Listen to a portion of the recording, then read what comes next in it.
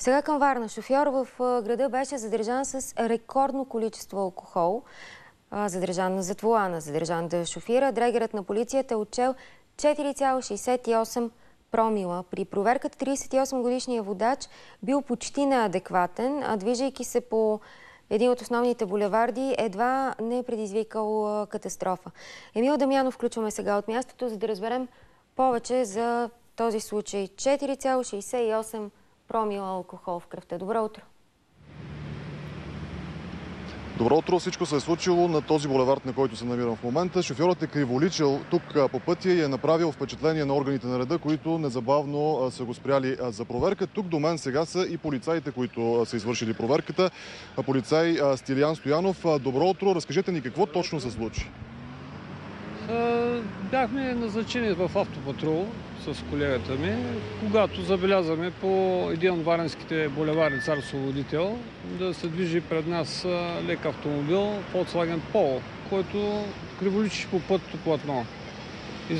Извършвайки на кръстовището тук с улица Вяра десен завой за нагоре, същият отнема предимството на няколко автомобила, което вече ни усъмни, че той е вече най-вероятно под въздействие на алкохол или други опойващи вещества. А, същия спряхме тук до спирката зад мене с светлин звукосигнал, като му посочих с ръка да отбие и да спре. Водача, след като предприеме проверката, излизайки от автомобила, лъхше сълно на алкохол, при което вече извикахме екип на КАТ пътна полиция за съдействие, за да бъде изпробвано лицето с техническо средство. Как реагира шофьорът при проверката? Ами, движенията му бяха некоординирани, както и се подпираше на самия автомобил, за да запази равновесие. Друго... А, всъщност този шофьор разбра ли, че изобщо му се извършва проверка? Трудно беше на водача да разбере, да ситуацията за какво става въпрос. Няколкократно му беше обяснявано какво предстои защо е спрян, но в крайен случай нещата приключиха по, по начин, по който да беше му извършена проверка, нещата приключиха с нея. Какво количество трябва да е изпил, за да има такова рекордно количество алкохол в кръвта според вас? Ами отговорът ще ми е субективен, но доста голямо количество алкохол, може би над 700-800 грама водка или някакъв друг твърд алкохол. Главен инспектор Петко Камбуров е тук. Инспектор Камбуров, за какво количество алкохол говорим в крайна сметка? Добро утро на зрителите на Нова. Със сигурност количеството на алкохол е доста голямо. Както спомена и колегата, субективно ще бъде да бъде поставен общ знаменател спрямо поведенческите реакции на такъв вид водачи. Още повече, че те може да са съпътствани с физиологични или други емоционални състояния на въпросното лице. В вашата практика това ли е най-голямото количество алкохол, с което е установяван шофьор за двола? Така на техническо средство на територията на област Варна това е най-голямото количество алкохол.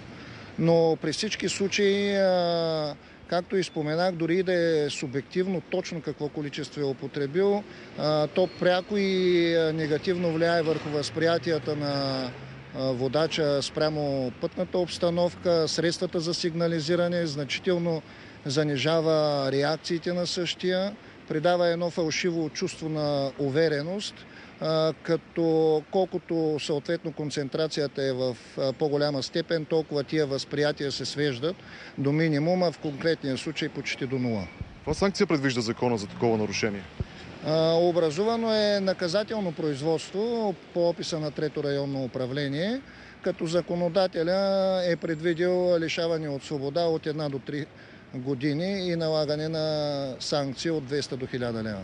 А зачестяват ли случаите? Какви са вашите наблюдения на шофьори, употребили алкохол, които се качват зад волана и буквално застрашават останалите участници в движението, както и себе си, разбира се?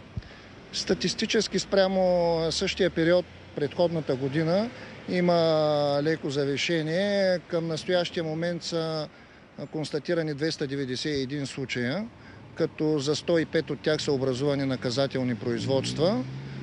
именно и за това целенасочена е ежедневната дейност състава с правомощия по контрол, пътното движение, което в съчетание с специализираните полицейски операции, които се провеждат, е нали, като условие да се постигне необходимия превентивен ефект и пресичане на такъв вид нарушения. Сега в крайна сметка какво ще се случи с този шофьор? Какво наказание ще получи? А, Както споменах, образувано е бързо производство по описа на областната дирекция. Наказателният кодекс предвижда лишаване от свобода от 1 до 3 години. Вашият призив към всички шофьори. Не шофирай, ако си пил. Благодаря ви. Ами, сами виждате, такава е ситуацията от тук. Явно някои хора продължават да си позволяват да употребяват алкохол, в случая рекордно количество и да се качат зад волана. Благодаря ти, Емил Дамянов, на живо от Варна, в пряко включване от Варна. А ние продължаваме с две страхотни истории с усмихнати.